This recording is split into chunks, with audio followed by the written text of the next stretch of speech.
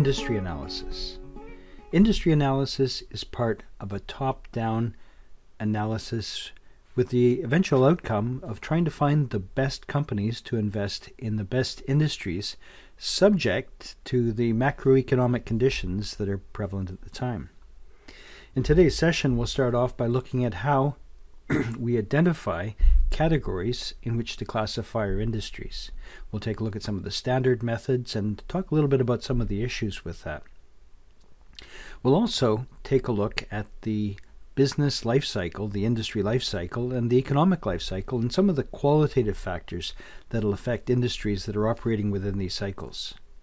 We'll learn how to evaluate future industry prospects by analyzing the business cycle.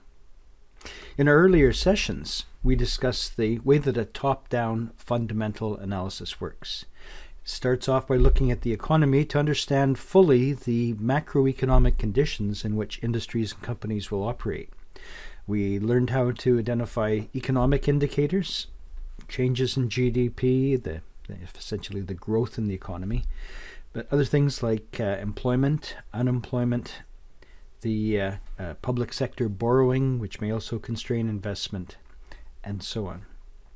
We also we also talked a little bit about some of the stages in a business cycle and the way that market sentiment is identified. In today's session, we're going to take a look at industry structure and how companies are classified within industries.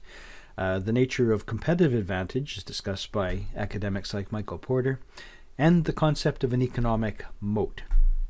Uh, once we've done this, the next step, of course, is to take a look at companies within the industry, learn how to pick winners and identify losers. Industry analysis, therefore, is the second step of a fundamental analysis for common equity investment. We look for the industries that show the most promise, the greatest potential for growth, and having identified those, we'll, we'll try to find companies within those industries. The concepts that we use for analyzing and understanding valuation are exactly the same that we discuss in corporate finance. ultimately, value is created by the ability to generate free cash flows, and they're offset by the amount of risk that we have to take in order to achieve those. And of course, timing is the third factor.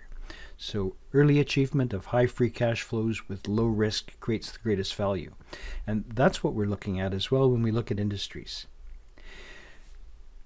the uh, analysis of industries is a bit different from looking at companies because it's also going to be subject to other things like new businesses entering into the industry, other businesses exiting from the industry through bankruptcy perhaps or mergers and acquisition. So their industry subset will change as well. The, uh, the value of an industry is seen by assessing the performance and comparing it to other industries over time. We have uh, reporting of industries through things like the stock indexes. In the Canadian case, we have the Standard & Poor's TSX Composite Index that includes all of the industries, and within that we have subsectors that tell us about the performance of particular companies, particular industries. Stock performance is largely affected by the macroeconomic conditions and the industry. In fact, about 80% of value change in stocks can be attributed to things that are happening in the underlying economy and things that are happening in the industry. Now, obviously, this means that we should avoid industries that are in decline, or at least if we're going to invest in those industries, we have to be very strategic about it. Some of the things that will also be important to us is that we need to understand the industry performance in terms of its consistency. Looking for and maintaining positions in growing industries tends to lead to greater return. And it also leads us with problems of whether or not the past is a reliable predictor of the future. Clearly, at a time like this, in the middle of a pandemic, we know that there can be substantial structural changes in the way that economies work. After the pandemic, certain types of industries like retail might never be the same again. We'll see the, the rise of alternative delivery models. In particular, online shopping is a great example of how things may be very different, structurally different than they were in the past. People who are value investors consistently remind us that we shouldn't forget about some of those old and boring industries. Investors like Warren Buffett have done a brilliant job of recognizing value and creating value by investing in very uh, tired and boring industries. You know, who would have thought there'd be that much money in railroads and insurance? But by investing strategically in industries that are largely in decline, there, there's certainly money to be made. We see that certain companies, certain types of specialists follow industries, and this helps us to understand some of those structural changes that would happen within industries. Uh, a great example is a company called Gartner Research, who follows the computer business. If you're listening to this on a computer, you could be using one of several different form factors. A desktop computer, they still exist. Laptops, convertible laptops, um, ultra mobile computing, including things like those convertible laptops, but also things like tablets, even cell phones, smartphones that are able to uh, to, to, provide this kind of uh, this kind of uh, media. In fact, I don't know, maybe somebody's even watching this on their wristwatch. The changes in the industry then are, are charted by companies like Gartner. You can see from this table, in some research they published a few years ago, they were talking about some of the structural changes that was happening that were happening in the industry. And if you knew the industry quite well, you knew which players were leading this change and which ones were chasing. For example, if you look back to perhaps 2014, you could see that traditional computing was the most well, was the dominant uh, part of the industry. If you're a company like IBM or rather Lenovo or, or Dell and you were thinking about the future, the future to you quite possibly was in desktop computing, creating more power in a box that would sit on somebody's desk. Uh, people were also, of course, using laptops, uh, notebook computers, and also even in 2014 there was some use of tablets, but the predominant part of the industry was in those traditional type of computers. We could see that also there was uh, some market for things like uh, uh, smart uh, mobile phones, so people would still be using their phones for some uh, advanced services, but not for quite as much. Um, predicted by 2013, 2017, you can see there's a shift away from the traditional PCs and more towards mobile computing. And of course, that's exactly what we have seen. We know when we come into a classroom, people are as likely to have a tablet or a phone in front of them as they are to have a laptop. And when you ask people about their desktop computers, they look at you with a glazed stare. What do you mean by that? Even understanding what an industry is may be a bit of a challenge. And we have seen that industrial classifications are very specific. They tell us that if you produce this kind of product, you must be in that industry. If you loan money, you must be a bank. If you uh, provide transportation services, you're an airline or a railway, and so on. We had a great example of how this logic fails from the early 20th century. It was something that we recognized later as railroad syndrome. And that was because people that were in that industry tended to talk only about their industry. If you wanted to talk about transporting goods across the United States or across Canada, you were talking about a railway. And that's because there were no uh, interstate highways, there was no Trans Canada Highway. If you wanted to ship goods from A to B, you took your goods to a rail depot, you put it onto a train, the train went across the country, you picked up the goods at the rail depot with your truck, and you delivered it to the end user that made sense, and still it's a very efficient mode of travel. But by the time we got into the post war era, and Eisenhower started with the construction of the interstate highway system as part of their defense infrastructure, we now had an alternative. Unfortunately, investors in railways failed to recognize that. And when they looked at investing, they said, well, investing in transportation is about choosing between these five railroads. And this one is the best of the five. And of course, there was always an argument about who the best railway was. And they argued until the industry pretty much fell apart. Nobody who was a railway investor recognized that there was a persistent move from the rail system to the rubber, rubber tired business of trucking.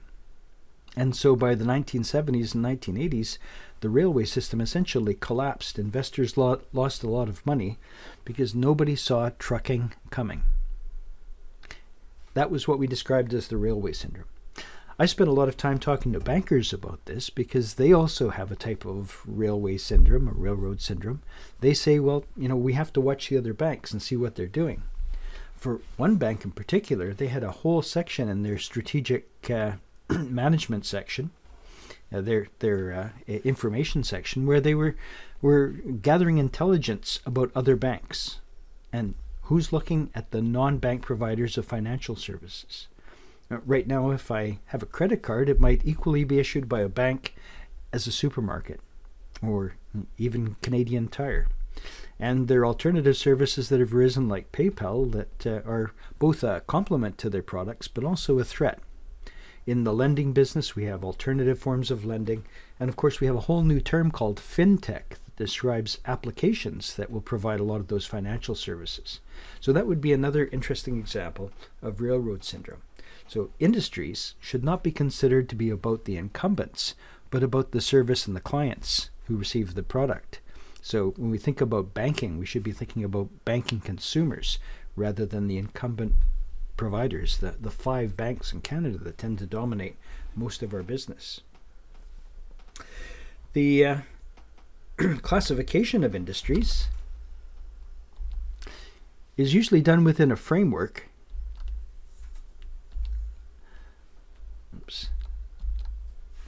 that is uh, provided by a number of classification systems. In equity markets, the Standard & Poor's TSX index is broken down into categories or industry groups and subgroups, which then contain all of the players in the uh, in the uh, TSX index. So about 380 companies are broken down into those 40 different subgroups and 14 categories. Clearly, some diversified companies don't fit very well, but somebody has to provide that classification. We have much more granular types of classification systems. Probably the best known is the U.S. Uh, Library of Congress's Standard Industrial Classification. Um, that essentially provides either a four or a six digit number, which is used to describe all of the companies that operate in the United States or actually around the world. All companies have at least one SIC code, and some have four or five, depending on the different lines of business in which they mostly operate. The uh, Canadian uh, system, NAICS, is the new worldwide standard. We've largely taken over from SIC because SIC was very, very slow to identify new industries. Uh, industries arise, uh, things like autonomous vehicles would perhaps take five years or ten years before they could get into the SIC book.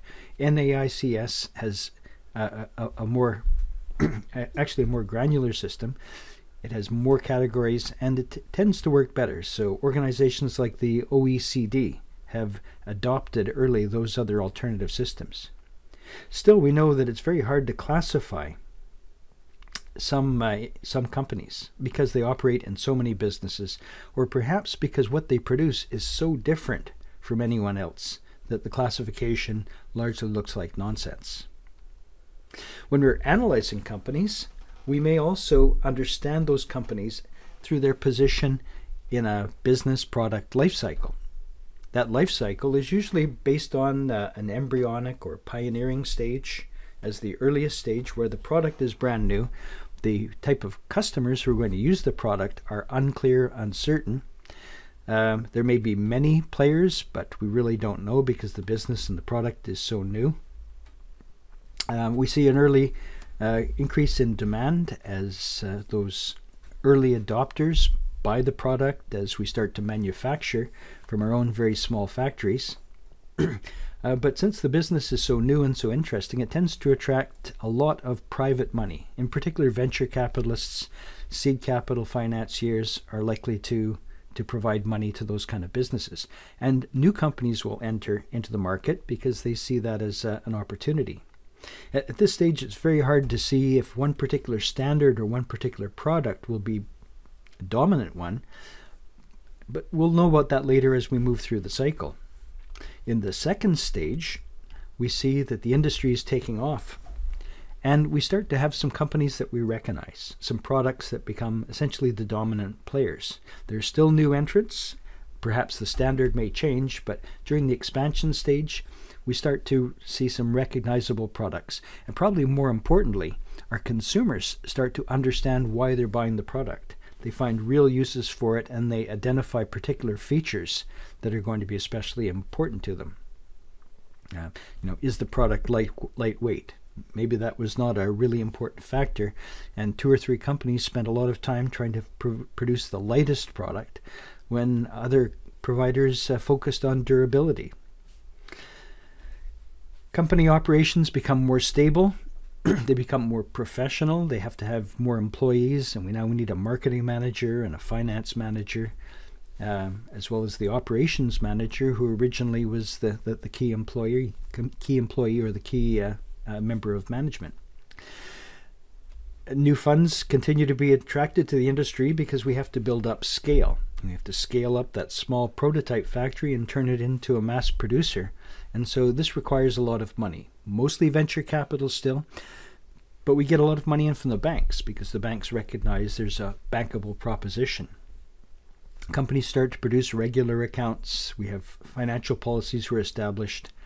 I, don't know about dividends being payable. This might come much later, but several of our textbooks would describe that. And this becomes much more attractive to investors. We're probably still not a public company yet, but we have more investors. A company like Facebook is a great example because it had about a thousand major investors, including people like Bill Gates and, and Warren Buffett, even, who put a little bit of money into Facebook before it was a public company. In the next stage, we start to move into uh, more of a maturity stage. The nature of the business changes. It goes from being a, a startup with a, a, with really high rate of growth to a more moderate rate of growth. The growth is still positive, but perhaps the company and the industry starts to grow at a declining rate. The growth is still upwards, but the first derivative or the, uh, the, the, the convexity of that line changes. So it's concave relative to the, the y-axis. The uh, marketplace may look like it's got too many competitors. Competition may still be fragmented, but this is where things start to change. And because we've reached a mass production stage, costs are going to become more stable. We also have more providers of services. We have uh, outsourcing available, and supply chains become a little bit more regular. Uh, certain things like standards might help us to simplify those things. And then probably we move on to a next stage, which isn't on our list, which is essentially a decline in the industry, where the industry is forced to reinvent itself, perhaps moving into negative growth, into a real decline. There certainly are some limitations with this approach. It works very well when we're describing a, a simple phenomena, like the growth of a human from a, a, baby to a to a youth to a teenager to a young adult to an adult and uh, to a senior citizen.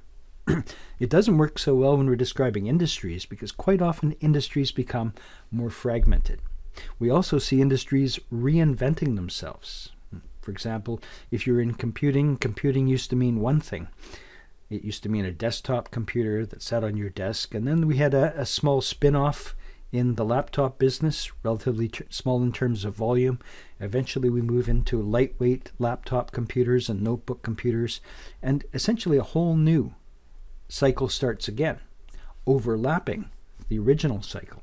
So it's kind of like you have a curve on a curve on a curve starting a few years after each other. And then eventually some of the players decide that the future of computing is not in hardware but in software and infrastructure. Companies like Dell, who might completely reinvent themselves as cloud computing companies.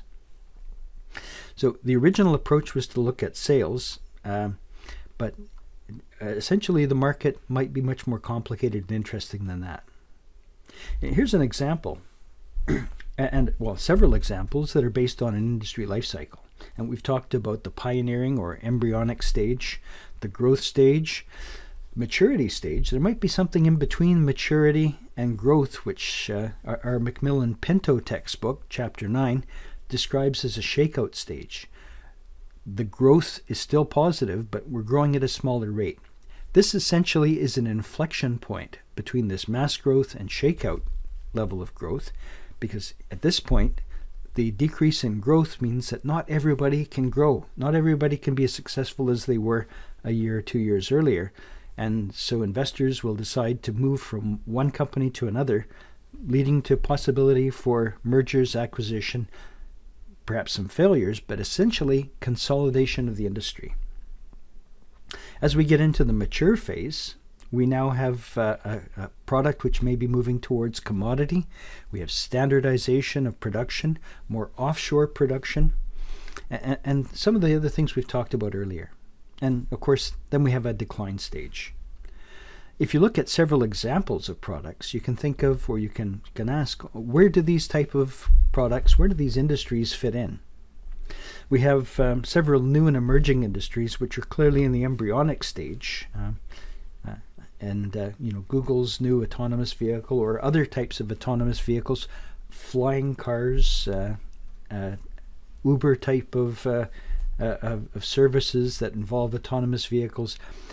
These things represent not just one, but perhaps many new industries because we have, in the case of autonomous vehicles, not just the manufacturing of the hardware, but we have several different types of software products, including things like the geolocation software that tells the car where it where it is, the sensors that are going to be, going to be needed to tell the vehicle where it is within lanes.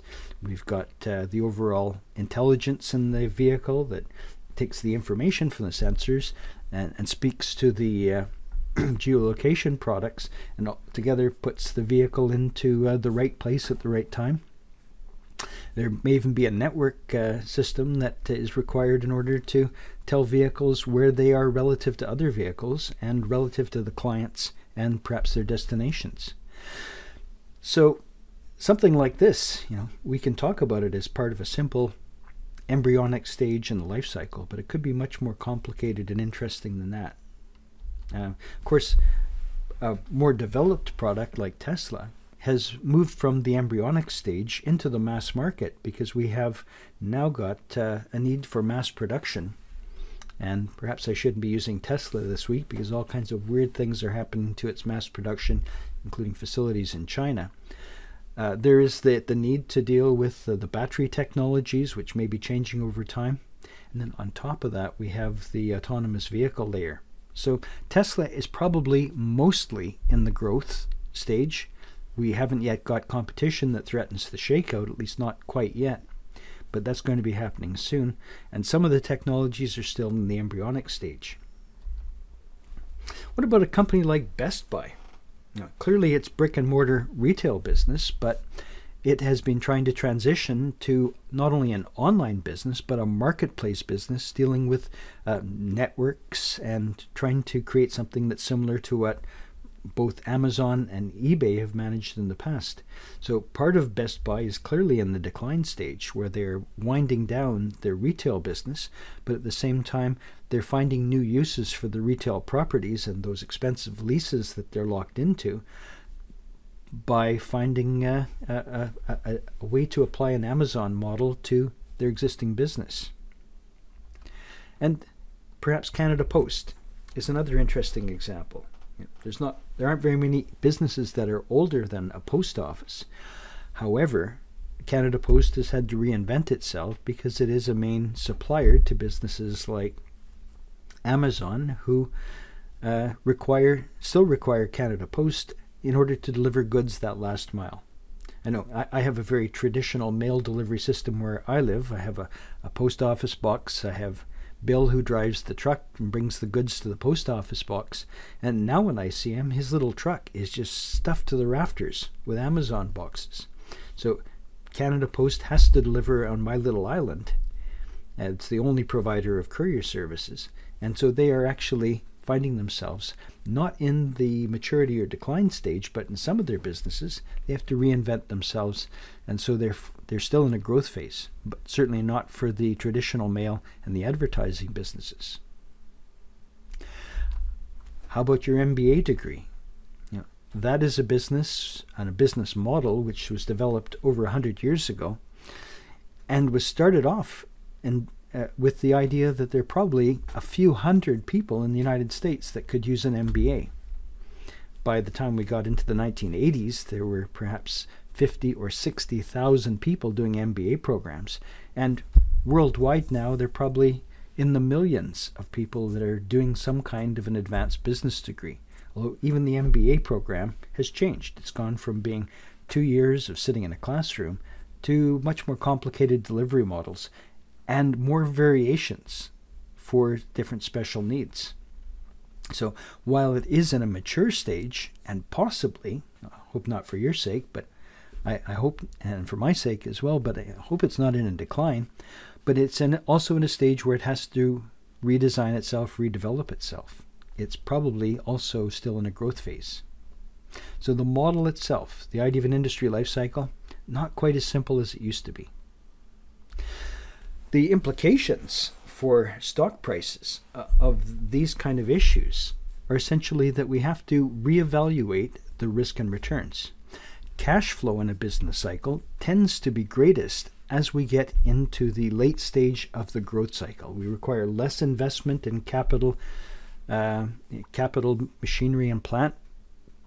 We have uh, the, the highest number of uh, customers, the greatest number of customers, still paying a high margin. As we get into the late stage of the growth cycle, margins decrease and and we uh, uh, start to produce more of a commodity product. There's less differentiation of our product. But the risk at the same time tends to fall. So early stages, high risk, weak cash flow. Later stages, we have uh, kind of a mix. When we get into the decline stage, cash flow tends to become largely positive, but risk is non existent. We know exactly where we're heading. So, understanding the cash flows is a big part of understanding that process. You can see by looking at the essentially the economic value added in different industries how this may be relevant. Some of those mature industries tend to be at the top of our EVA creation. In this chart, the highest, uh, the highest positive numbers represent the return on invested capital minus the weighted average cost of capital, or a number we talked about last semester as EVA spread. The greatest EVA spread goes to things like construction materials, data networking, money management, uh, and so on. Some of the largest negative EVA is going to be in some of the highest technology businesses like biotechnology because we know that they tend to be developing products rather than selling them. They're at the embryonic stage. So this is an interesting example of how those cash flows and how the risk and return might equate to industries in different parts of the cycle. We also need to be able to understand some of the qualitative aspects of industries. Historical performance tells us a lot about the business. The company's record of sales and earnings, of growth, price performance are going to be part of our analysis. But as there are structural changes within the economy and within industries, the past might not be representative of the future. Competitive conditions in an industry may also change as well. An industry which has been very well organized, consolidated, four or five main, main players, might be completely changed by the entrant of a entrance of a new player. Uh, retail has certainly been changed by companies like Amazon. Media has been changed by companies like Google and Facebook the stories that we're hearing about today. We may also be in an industry where a very fragmented industry is moving into more consolidation, perhaps like the grocery business has been uh, recently, with fewer players providing a larger percentage of our, our food, including consolidation up and down the value chain by, by uh, having uh, large supermarkets taking over things like production of milk and eggs. To understand an industry, we need particularly well defined sources most industries have got a standard uh, analysis framework. For example, if you're in mining, there's a pretty good chance that if you go into just about any mining organization, in the old days you would have found a copy of the Northern Miner in the uh, uh, reception area and probably on the desk of several of the people in the office because everybody needed to know about what the competition was doing. They needed to know about the price for commodities that they were looking for. They needed to know um, if there were any changes in the industry, and they needed to know it daily. And that's why we had publications like the Northern Miner. Or in the forest industry, There was Madison's Lumber Reporter, which eventually turned into just Madison's website, which would tell us things like what's the uh, what's the price of a two by four, or a thousand board feet of two by four, or who's building a new plant to uh, to produce uh, fiberboard in northern BC, and that information would be shared throughout the entire industry, originally in paper form, and now, of course, it's online. And we saw that Gartner is a good example of a consultancy business which developed into an information business that tells people about trends in computing.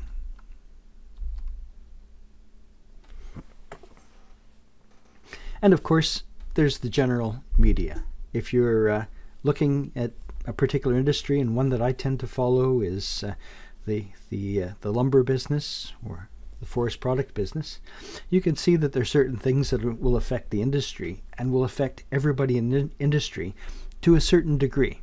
Things like trade um, uh, trade wars. If you sell your lumber to the United States, if Home Depot is your biggest customer in the United States, clearly trade wars could be important. Uh, a lot of uh, the allowable uh, production in forestry, the allowable annual cut, would disappear with a single forest fire, or could disappear with a single forest fire, or particularly bad season.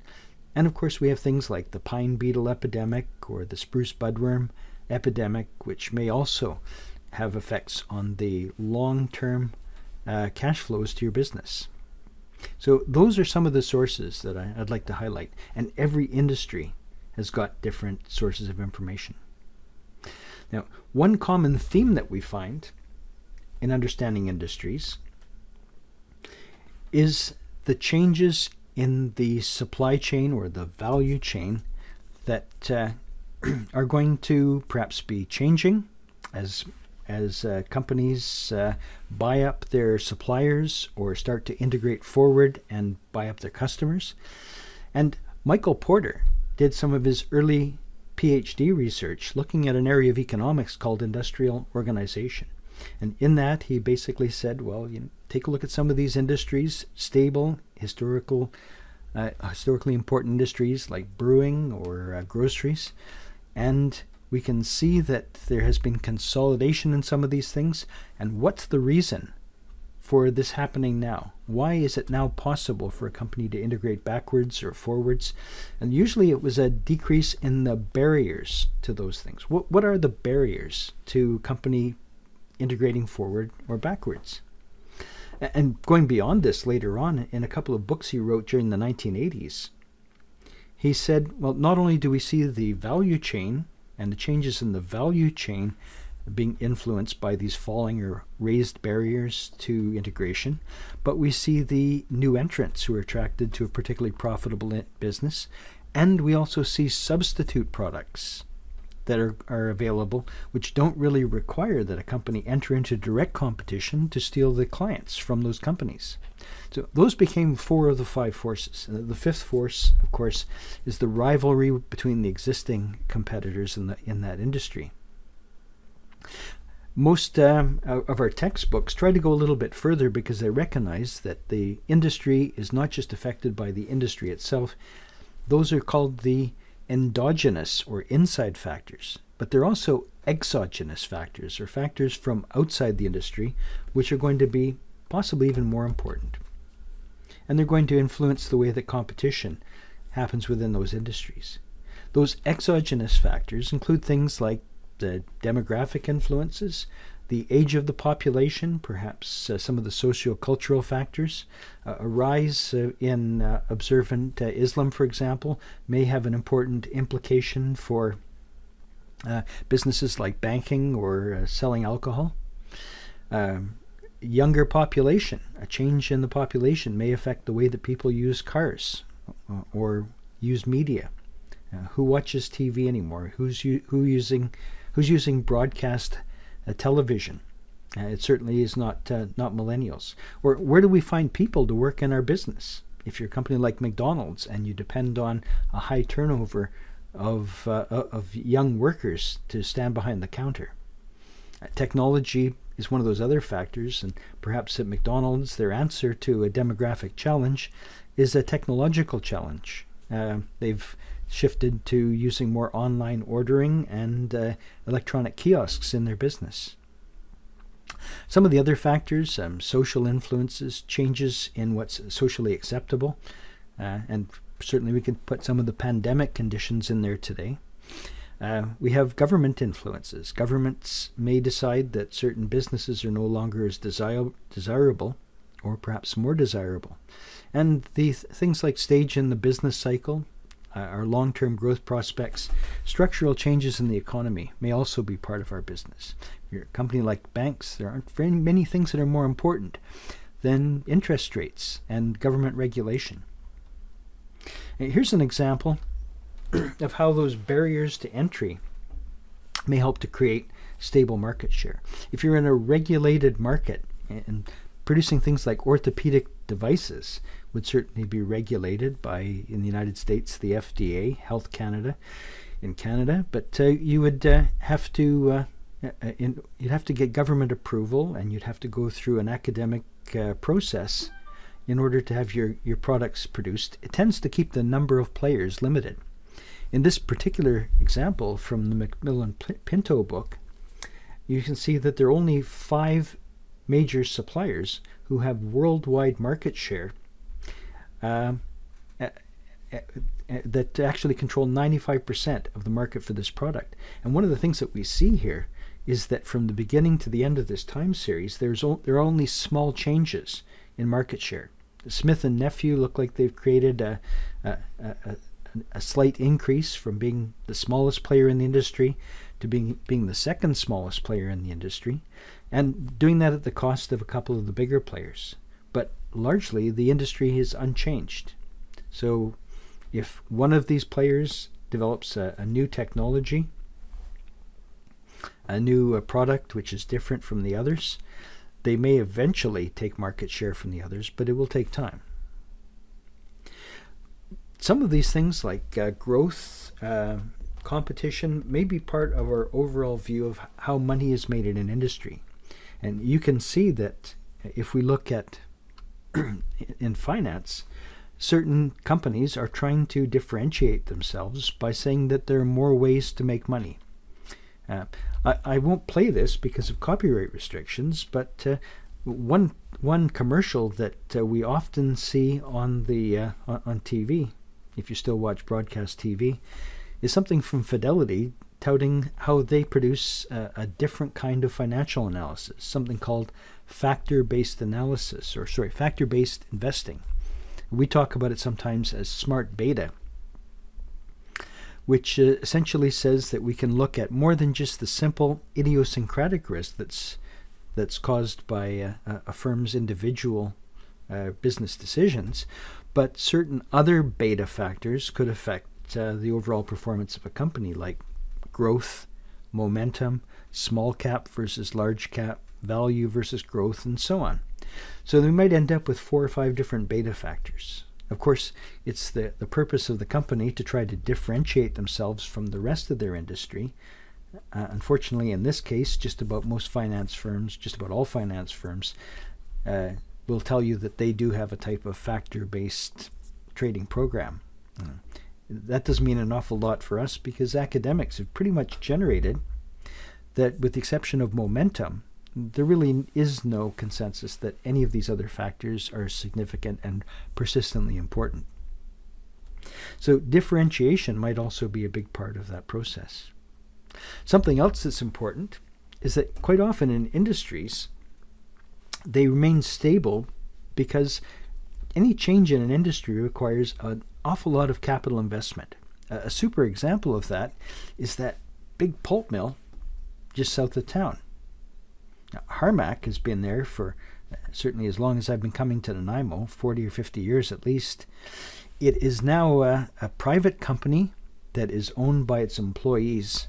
But as a pulp mill, it's a great example of a company that deals with a very high investment in capital, high fixed asset to sales ratio.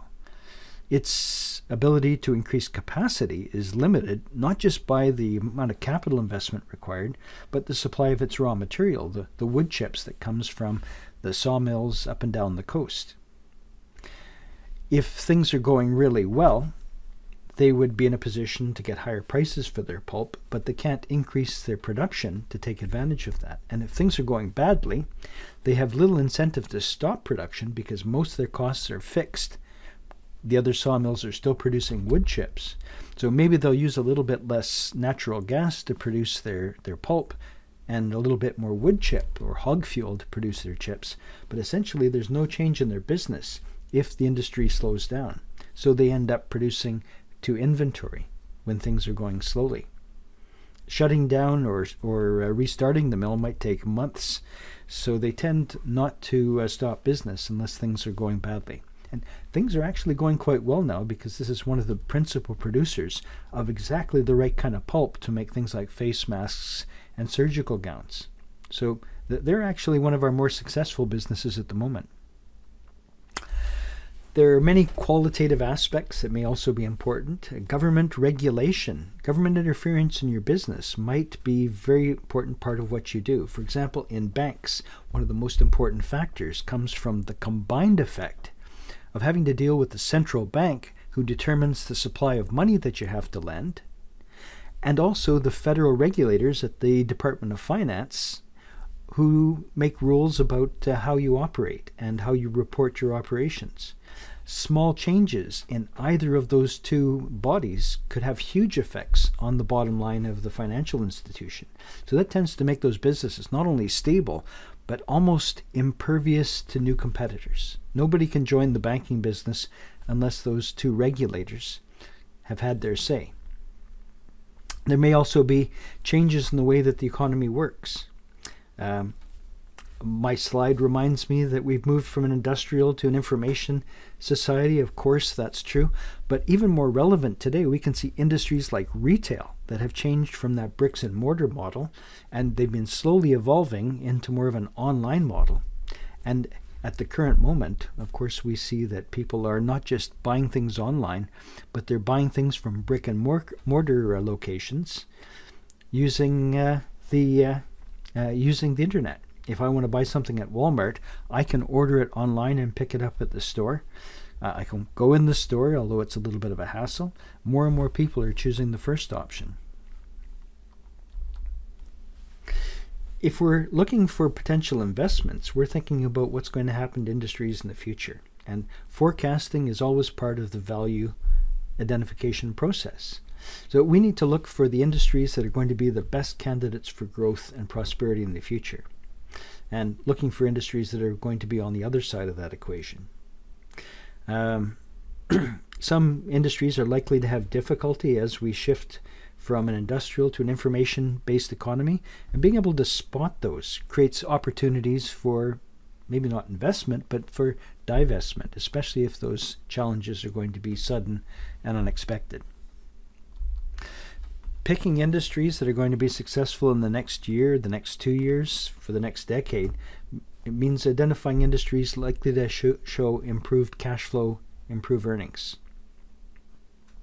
To do that, we have to take a look at the industry uh, and the earnings that are going to be available, although those predictions of growth tend to be difficult uh, to, to prove. Which uh, industries are overpriced?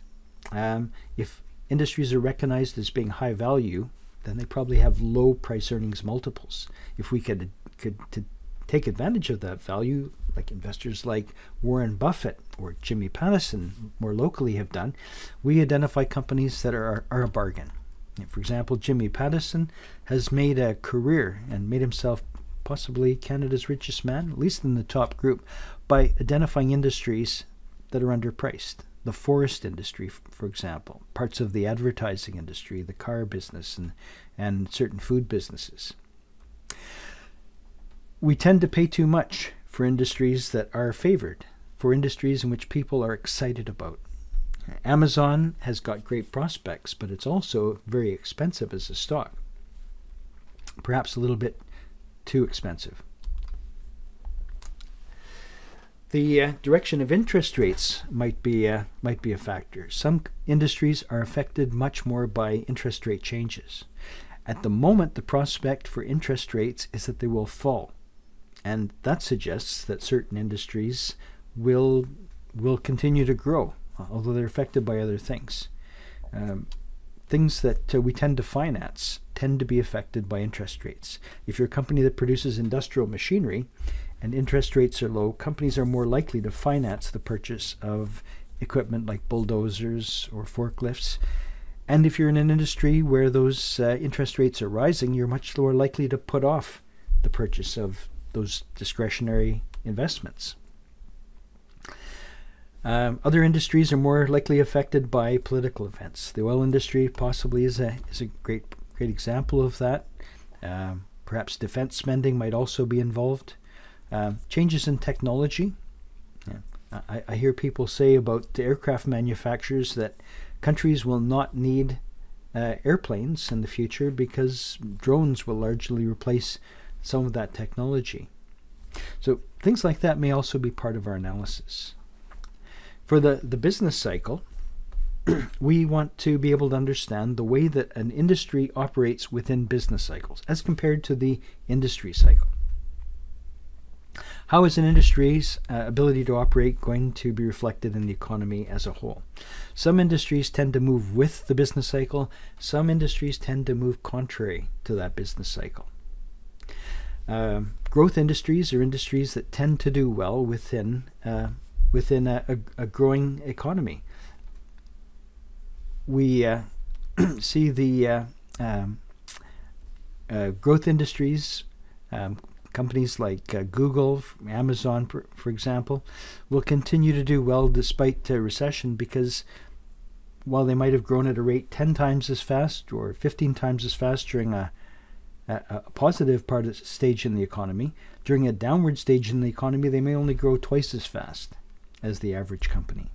So, still a positive uh, outlook, even though the economy might be trending downwards. Defensive industries are those products, those companies, those industries that produce goods that people need to buy regardless of what's happening around us. Uh, if you produce something like soap or toothpaste or shampoo, perhaps toilet paper, people are still going to use your product even if things are not going well. We describe companies like Unilever and Procter & Gamble, Colgate, those uh, consumer cyclical uh, products, as uh, as being a defensive business. Cyclical industries are the ones that tend to trend with the industry. Uh, so if the economy is doing well, they do well, and if the economy is doing badly, they do worse. We can also say that some industries tend to move opposite to the business cycle. For example, um, uh, lending organizations like Money Mart and uh, uh debt rating agencies are, are likely to do very well. Some people would say take a look at Walmart, maybe Canadian Tire. They would tend to do better in a recession than some of their competitors because they provide goods which may actually replace more expensive alternatives. So instead of uh, buying a new car, you're not doing very well, and perhaps you can buy new new parts for your car. You can buy yourself some new seat covers because you can't afford to buy the new car to replace that car. Some uh, industries, as I've mentioned before, are going to be sensitive to interest rate changes. We're also going to uh, try to identify some of those companies and say this would be the time to sell because we expect that interest rates are going to uh, going to rise as the economy is doing better. The central bank re- restricts the amount of credit that's available. Those companies might suffer. On average, banks tend to be interest rate sensitive. Even insurance companies, which are largely made up of investment portfolios, tend to be interest rate sensitive. But some of those can, some of those um, industrial product companies may, or, or real estate businesses might also be interest sensitive. Our better understanding of the business cycle will help us to decide what kind of things to buy in which stage of the cycle. And uh, it helps us to avoid certain industries. Now, the process of aligning our portfolio to a business cycle is called sector rotation. In a sector rotation model, we uh, essentially buy things that are consumer cyclical industries, durables like washing machines and furniture, uh, non durables, uh, things that we'll, we'll, use and throw away.